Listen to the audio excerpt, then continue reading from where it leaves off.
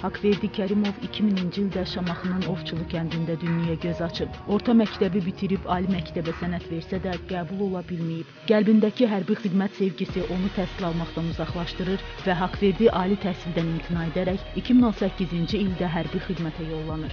Hərbi xidmətini başa vurduqdan sonra yenidən öz istəyi ilə hərbi xidmətə qayıdır və müddətdən artıq hərbi qulluqçu kimi fəaliyyətini davam etdirir. Dedi əsgərlığa gedirəm, day mən oxumaq istəmirəm, gəlib voyen olacam. Elə əsgərlikdə ola-ola da 7 maxeylərin üstündə o şəhadətnaməni aldı. Hə, ona gələndən sonra dedi, yox, e, mən gedirəm, dayanmadı. Dedi, mən gedirəm, dedi, yox, başladım, dayanda dincəl heç dayanmadı, dedi, mən vətənimin uğrunda getməyə mama hazıram.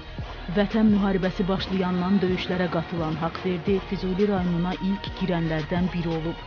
Füzulda oldu, Horadizdə oldu, hə, Zəngilanda oldu, dedi, mama elə bir sıldırım qayadan düşmüşük ki, yəni narahat olma, sağ-salamat gələcəm.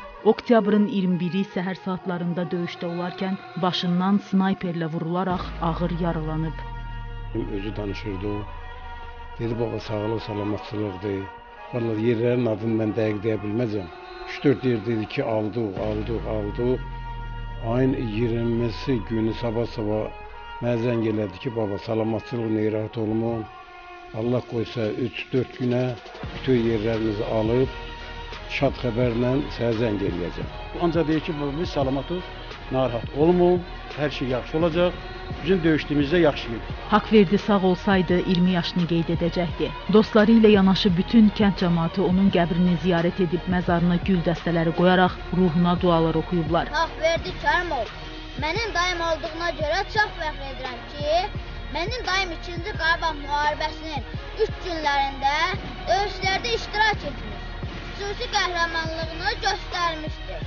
O, işğal olmuş ərazilərimizin azad olunmasından öz canından keçmişdir. Haqverdi Kərimovun qohumları, qonşuları arasından da həmçinin nümunəvi olmuşdur. Böyüyün, kiçiyin yerini bilmişdir. Mən də söz verirəm ki, daimin yoluna davam etdirəcəm. Xalqım dövlətimə layiqlə xidmət edəcəyəm. Mən və bütün qohumlarımız, bütün Azərbaycan xalq Haqverdi Kərimovun bu qəhrəmanlığını uzun illər böyük ehtiramla xatırlayacaq. Düşmanlar duymasın bu fəryadımı. Bilmirəm sevinib, ya ağlayım mı?